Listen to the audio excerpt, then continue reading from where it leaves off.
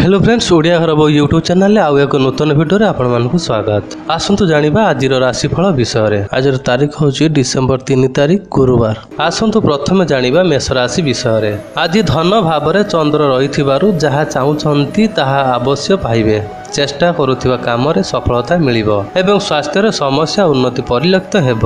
ନିର୍ମାଣାଧୀନ କାର୍ଯ୍ୟ ସ୍ଥଗିତ ରହିପାରେ। ଯାନବାହନରେ ସତର୍କତା ଅବଲମ୍ବନ କରନ୍ତୁ। ଯାତ୍ରା ପ୍ରଶାସନ ବାଣିଜ୍ୟ ବ୍ୟବସାୟ ଯାତ୍ରା ମନ୍ଦ ହେବନି। ଏବେ ଚାଲନ୍ତୁ ଜାଣିବା ବୃଷ ରାଶି ବିଷୟରେ। ରାଶିରେ ଉଚ୍ଚସ୍ଥ ଚନ୍ଦ୍ର ପ୍ରଭାବରୁ ମନ ପ୍ରଫୁଲ୍ଲ ରହିବ। ଘରେ ହେଉ କିମ୍ବା ବାହାରେ ସବୁଠି ଆଜି ଅନ୍ୟମାନଙ୍କ ଠାରୁ ପ୍ରଶଂସା ପାଇବେ। ଏକ ନୂତନ ପରିବେଶ ମଧ୍ୟରେ ମିତ୍ରତା ବନ୍ଧନରେ ଆବଦ୍ଧ ହେବେ। କିନ୍ତୁ ମନୋରଞ୍ଜନ ପ୍ରୀତିପ୍ରଦ ହେବ ନାହିଁ। ସାହିତ୍ୟ ଚର୍ଚ୍ଚା ସାମ୍ବାଦିକତା ଏଜେନ୍ସିରେ ସମସ୍ୟା ଦୂର ହେବ। ଏବେ ଆସନ୍ତୁ ଜାଣିବା ମିଥୁନ ରାଶି ବିଷୟରେ।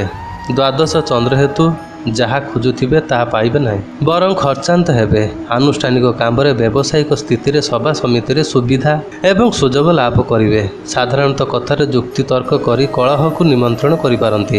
ଦୂର ସ୍ଥାନକୁ ଯାତ୍ରା କରିବାକୁ ପଡ଼ିପାରେ। ଏବେ ଆସନ୍ତୁ ଜାଣିବା କର୍କଟ ରାଶି ବିଷୟରେ। ପାପ ଗ୍ରହ ମଧ୍ୟସ୍ଥ ରାଶ୍ୟଧୀପ ହେତୁ ସ୍ୱାସ୍ଥ୍ୟ ସମସ୍ୟା ମନକୁ ଭାରାକ୍ରାନ୍ତ କରିବ। ସୁଯୋଗ ହରାଇବା କାରଣରୁ ଭାବ ପ୍ରବଣତା ବୃଦ୍ଧି ପାଇବ। ବହୁତ ଦିନରୁ ରହି ଆସିଥିବା ବେକେୟା ଅର୍ଥ ଆଦାୟ କରିବାର ସକ୍ଷମ ହେବେ। କେତେକ ଘରୋଇ କାରଣକୁ ନେଇ ଅଶାନ୍ତ ରହିବେ। ଏବେ ଆସନ୍ତୁ ଜାଣିବା ସିଂହ ରାଶି ବିଷୟରେ। ଆଜି କୌଣସି ସ୍ଥାନକୁ ଯିବା ସମୟରେ ନିଜ ଜିନିଷପତ୍ର ପ୍ରତି ସତର୍କ ରୁହନ୍ତୁ। ଗୁରୁ କ୍ଷେତ୍ରସ୍ଥ ମଙ୍ଗଳସ୍ଥ ଯୋଗୁଁ ପାରିବାରିକ ଜୀବନରେ ଉଚିତ ବୁଝାମଣା ହେବ। ଚାକିରି କ୍ଷେତ୍ରରେ ବହୁତ ଦିନରୁ ପ୍ରତୀକ୍ଷିତ ଖବର ପାଇ ଖୁସି ହେବେ। ଅଫିସରେ ନୂତନ ଚୁକ୍ତିପତ୍ର ସ୍ୱାକ୍ଷରିତ ହୋଇପାରେ। ଏବେ ଆସନ୍ତୁ ଜାଣିବା କନ୍ୟା ରାଶି ବିଷୟରେ। କର୍ମ କ୍ଷେତ୍ରରେ ନିକଟସ୍ଥ ବ୍ୟକ୍ତିମାନଙ୍କୁ ସରଳ ବିଶ୍ୱାସ କରି ଠକାମିରେ ପଡ଼ିବେ। ସ୍ୱାସ୍ଥ୍ୟହାନି କିମ୍ବା ବନ୍ଧୁଙ୍କ ସହ ମନମାଳିନ୍ୟ ଯୋଗୁଁ ମନ ଉଦାସ ରହିବ। ଷ୍ଟେସନାରୀ ଜିନିଷ ଧାତୁ ଅଳଙ୍କାର ଔଷଧପତ୍ର ଏବଂ ସୌଖିନୀ ଦ୍ରବ୍ୟ କ୍ରୟ କରିପାରନ୍ତି। ଯାତ୍ରା ଏବଂ ପରିବହନ ପାଇଁ ଦିନଟି ଭଲ। ଏବେ ଆସନ୍ତୁ ଜାଣିବା ତୁଳାରାଶି ବିଷୟରେ। ଶନିଙ୍କ ପ୍ରଭାବରେ ଘରେ ସାଧାରଣ କଥାରେ ଝଗଡ଼ା ହେବାର ସମ୍ଭାବନା ରହିଛି। ଯାନବାହନରେ ସତର୍କ ରହିବା ଭଲ ହେବ। କାମରେ ସମ୍ମାନୀୟ ବ୍ୟକ୍ତି ବିଶେଷ ସହାୟତା କରିବେ। ଶାରୀରିକ ଅବଶ୍ୟରେ ଉନ୍ନତି ଘଟିବ। ଶତ୍ରୁ ଉପଦ୍ରବ କେତେକାଂଶରେ କମି ଯାଇପାରେ? ଏବେ ଆସନ୍ତୁ ଜାଣିବା ବିଛାରାଶି ବିଷୟରେ। ଅଯଥା ଗୁଡ଼ାଏ ଚିନ୍ତା ମନକୁ ନ ଆଣି ନିଜ କାମରେ ମନ ଦେବା ଭଲ ହେବ। ଜ୍ୟେଷ୍ଠ ନକ୍ଷତ୍ର ଅନ୍ୟମାନଙ୍କ ବିଷୟ ଚିନ୍ତା କରି ନିଜ ପ୍ରତି ଅବହେଳା କରିପାରନ୍ତି। ପୂର୍ବରୁ ଆଲୋଚନା କରିଥିବା ଅନୁଯାୟୀ ବନ୍ଧୁଙ୍କ ଠାରୁ ଆପଣଙ୍କ ପ୍ରାପ୍ୟ ଅବଶ୍ୟ ପାଇବେ। ପାରିବାରିକ ସମସ୍ୟାକୁ ସୁଧାରିବାରେ ସମର୍ଥ ହେବେ। ଏବେ ଆସନ୍ତୁ ଜାଣିବା ଧନୁରାଶି ବିଷୟରେ।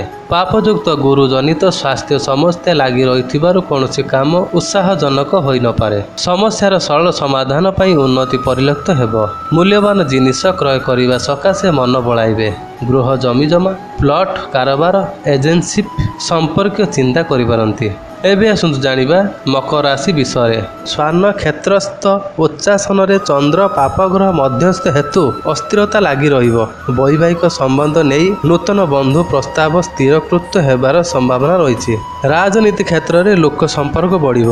ଅଧ୍ୟୟନ ଏବଂ ଅଧ୍ୟାପନାରୁ ଉପକୃତ ହେବେ। ପ୍ରିୟ ବନ୍ଧୁମାନଙ୍କ ଠାରୁ ଆଦର ଅଭ୍ୟର୍ଥନା ମିଳିବ।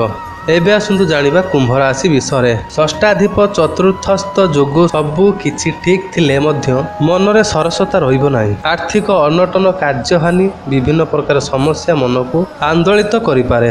ଯାହା କହିବା ପାଇଁ ଭାବୁଥିବେ ତା ବନ୍ଧୁଙ୍କ ମୁହଁ ସାମ୍ନାରେ ପ୍ରକାଶ କରିପାରିବେ ନାହିଁ। କାର୍ଯ୍ୟ ସିଦ୍ଧି ମନରେ ପ୍ରଫୁଲ୍ଲିତ ଆଣିପାରେ।